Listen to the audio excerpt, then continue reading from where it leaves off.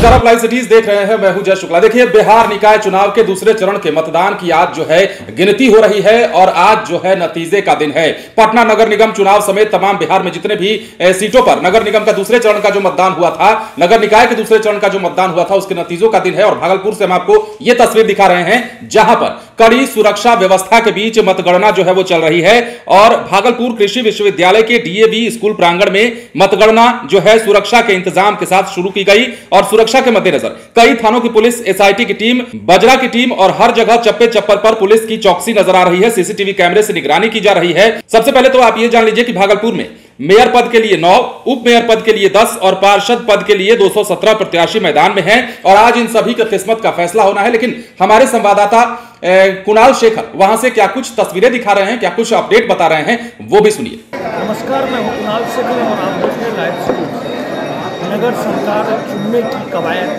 चल रही है, मतगणना कार्य चल रहा है और हम इस वक्त मौजूद हैं मतगणना स्थल पर आप सभी तस्वीर देख सकते हैं जिस तरह से कड़ी सुरक्षा व्यवस्था के बीच ये आ, मतगणना का कार्य चल रहा है। लगातार जो पदाधिकारी हैं जो मतगणना कक्ष में उम्मीदवार उनके समर्थक लाइन से जाँच कर रहे हैं उसके बाद मतगणना कक्ष में प्रवेश किया जा रहा है। नगर निगम के जिन जिनके मतगणना के सभी लेवल पर मतगणना कर्मी पहुँच चुके हैं कृपया वो मतगणना प्रारंभ कर रहे हैं। जिन टेबुल बनाए से, अ, मतगणना कक्ष में सभी कर्मी मतगणना कर्मी पहुँच चुके हैं।